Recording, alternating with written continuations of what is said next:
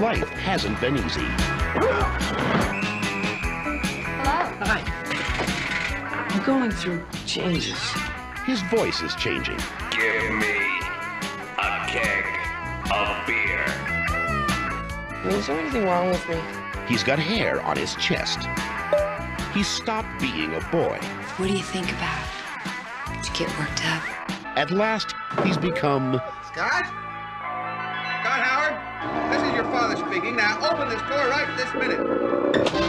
a wolf.